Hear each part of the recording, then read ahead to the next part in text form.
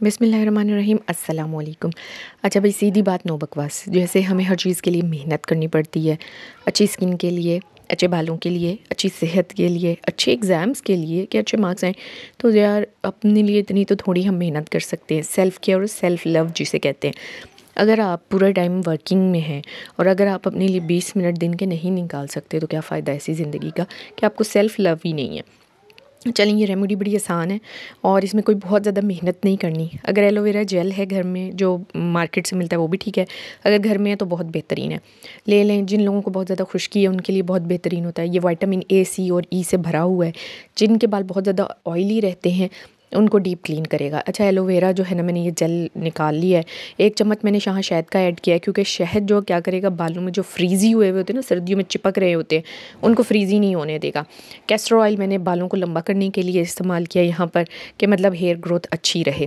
अच्छा यहाँ पर एक चम्मच मैंने ऑलिव ऑयल का ऐड किया, क्योंकि इसके अंदर फैटी एसिड और एंटी होते हैं, जो बालों को अच्छे से नरिश करते हैं। यहाँ पर मैंने इसको ब्लेंड कर लिया है। अच्छे से ब्लेंड करने के बाद यहाँ पर मैं डालूँगी दही के दो चम्मच, क्योंकि इसके अंदर प्रोटीन है। प्रोटीन मास्क के बारे में तो आपने सुना होगा। तो ये इसके साथ मिलकर इतना बेहतरीन मिक्सचर बनाएगा। यहाँ पे मेरे बालों का टेक्सचर आप देख सकते हैं। काफ़ी टाइम हो गया था, मैंने बिल्कुल भी अपने बालों को केयर नहीं किया था तो जल्दी से मैंने रेमेडी निकाल ली, जो कि मैं अक्सर घर में यूज़ करती रहती हूँ। इसको अच्छे से अप्लाई करना है, जड़ों के अंदर तक आपने अप्लाई करना है, इस तरह से।